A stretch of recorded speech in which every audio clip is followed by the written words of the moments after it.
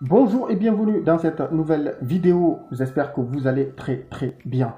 Dans cette nouvelle vidéo, nous allons voir ensemble comment savoir facilement et rapidement si vous êtes espionné sur WhatsApp. Avant de partir, je t'invite de lâcher un pouce bleu, de t'abonner et sans oublier d'activer la cloche de notification pour ne rater aucune de mes prochaines vidéos. Savoir facilement et rapidement si vous êtes espionné sur WhatsApp si une personne vous a piraté sur WhatsApp. Rendez-vous sur l'écran de mon téléphone. C'est parti les gars, let's go.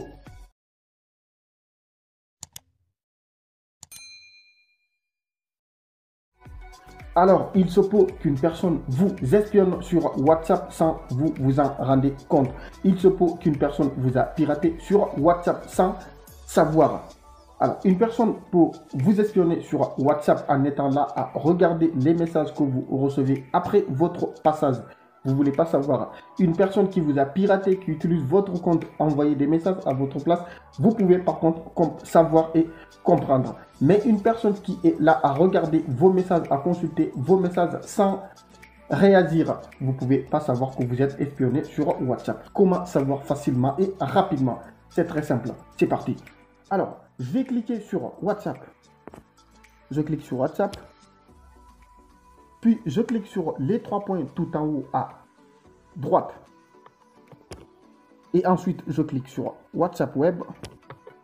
Et là, vous allez automatiquement voir toutes les personnes qui sont connectées à votre compte et qui sont là à regarder les messages que vous recevez. Alors, comment les désactiver rapidement?